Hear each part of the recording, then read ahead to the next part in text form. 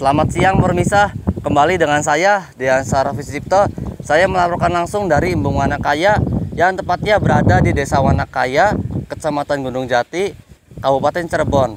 Di sini saya akan melaporkan langsung kondisi terkini mengenai Embung Wanakaya yang sudah terlihat mengering karena efek kemarau di 2023 ini. Nah, yang Embung Wanakaya yang dulunya difungsikan sebagai destinasi alam bagi wisatawan lokal maupun asing.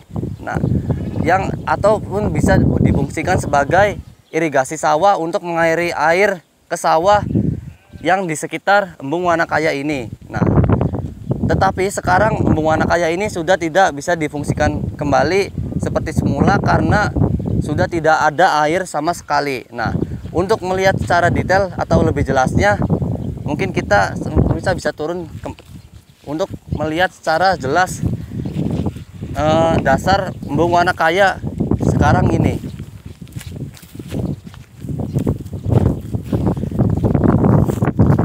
Bisa permisa lihat sekarang embung warna kaya sudah tidak terlihat sama sekali air karena efek kemarau yang cukup panjang ini yaitu dari bulan Juli hingga bulan sekarang ini.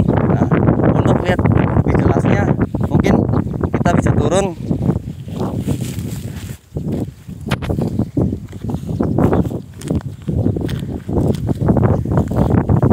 bisa permisa lihat di sini sudah tidak ada air sama sekali dan dasar embung kaya ini sudah mengalami tanah retak dan banyak hewan ataupun kerang yang sudah tidak bisa bertahan hidup di embung kaya ini.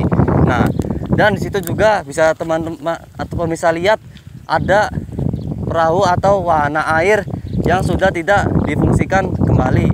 Nah, di sana juga ada pintu air yang sebagai suplai air masuk ke embung Wanakaya ini.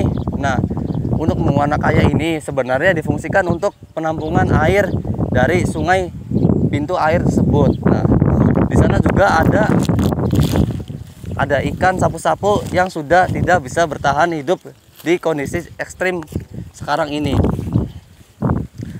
Mungkin itu laporan dari saya langsung dari Embung Wanakaya. Nah, sekian dan terima kasih.